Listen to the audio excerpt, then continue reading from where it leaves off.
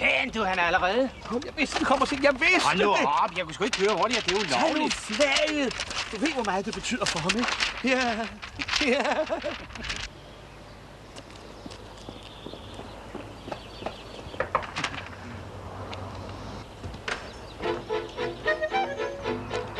Hvad fanden?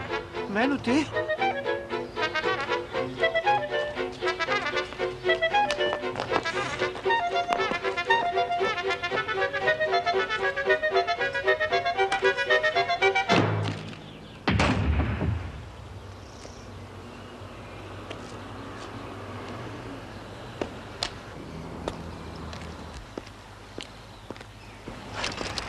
Åh, gudskelov, der kommer han.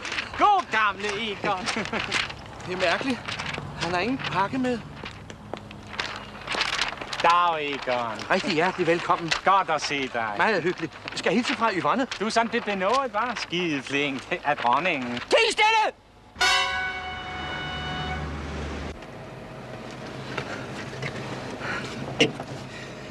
Du har det ellers godt, Egon. Du ser rask ud. Jeg skal hilse fra Yvonne. Kæld, det har du gjort. Ja, ja, men hun glæder sig også meget, det gør hun.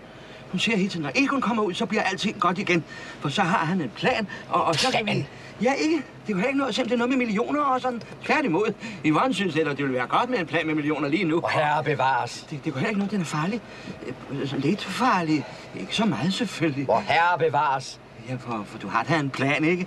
Nej, jeg har ingen plan. Har du ingen plan? Nej, hvad har du tænkt dig? Tror du, planer er noget, man bare trækker i en automat? En plan kræver omhu og arbejde. Den skal tilrettelægges og times. Det kræver først og fremmest tid. Ja, selvfølgelig. I overmorgen skulle jeg have haft et møde med en landsretsafører, som siger i Horsens, man skal overflyttes. En stor sag. En sag til millioner. Så bliver man løsladt til nar og grin, bare fordi dronningen har fødselsdag. Har man hørt noget så åndssvagt? Hvad, hvad gør vi så? Vi kan ikke tage hjem Yvonne. Hun venter med frokost og alting. For fanden, vi kan sgu da bruge min. Din, hvad for noget? Min plan, selvfølgelig. Ikke tale om. For fanden, Kjeld, den er sgu god nok. Det er ligesom Egon selv sagde.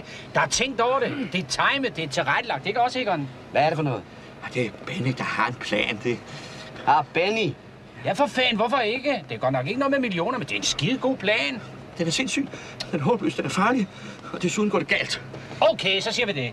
Jeg har ikke nogen plan. Egon har ikke nogen plan. Du har slet ikke nogen plan. Så tager vi hjem og fortæller Yvonne det. Nej, nej, så, så var det heller ikke. Vi kunne selvfølgelig, hvis Egon synes, så kunne vi jo lade som om. Det, Hvad er det med Yvonne? det, der, der, der er sgu ikke noget med Yvonne. Sådan, det, det, Hun har fået arbejde. Arbejde. Hun er helt rundt på gulvet. og det passer ikke. Yvonne, hun er bare forandret. Hun er helt anderledes. Du kan slet ikke kende hende igen.